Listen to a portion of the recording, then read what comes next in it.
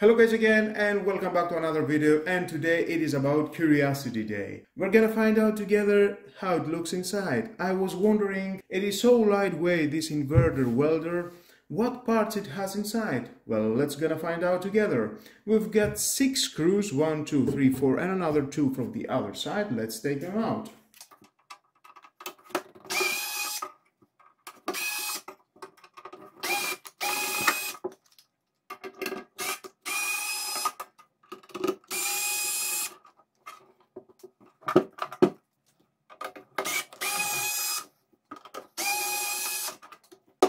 And let's take this metallic matte finish and voila.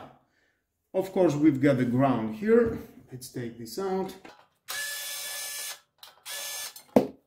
Nice. And there are all the parts inside.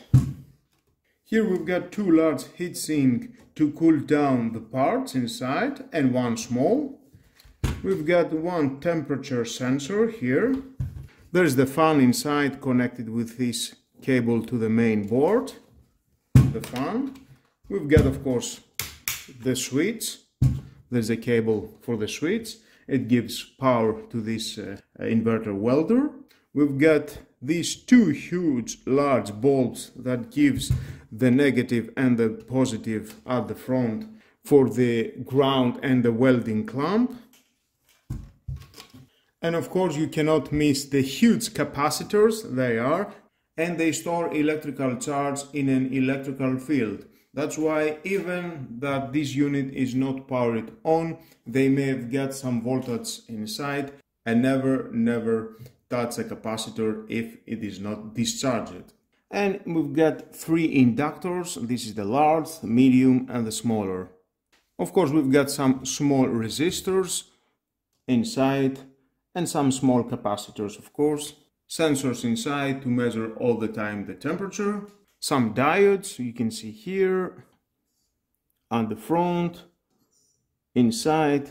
These diodes are small uh, parts of this all construction. And here we've got and the LEDs, two LEDs. And we've got of course and the controller at this position.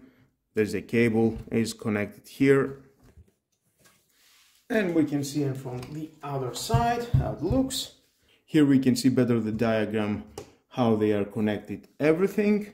At the back we've got some smaller parts that connect it. Definitely it is a lightweight because it doesn't have a transformer. Or welders they've got transformer that's why they are so heavy. Transformer are so huge. It depends of course the arms of the welder and more arms you need a bigger transformer. And transformers, as we know, they are so heavy. If we need to compare the transformer and the inverter welder, inverters are better for many reasons. They are so lightweight, better efficiency, efficiency and power saving. They've got a better cooling system with a cooling fan. They are more stable at the voltage and you will have a greater experience with the inverter welder. Overall I can say they are better than the welders with a transformer. It is better to choose an inverter welder. Of course as you can see they've got so many electronic parts inside. It is like a computer, but it is lightweight. You can even carry on with your shoulder as you're working. Well guys, that was end the curiosity day. Now you are smarter, you know how it looks inside an inverter welder.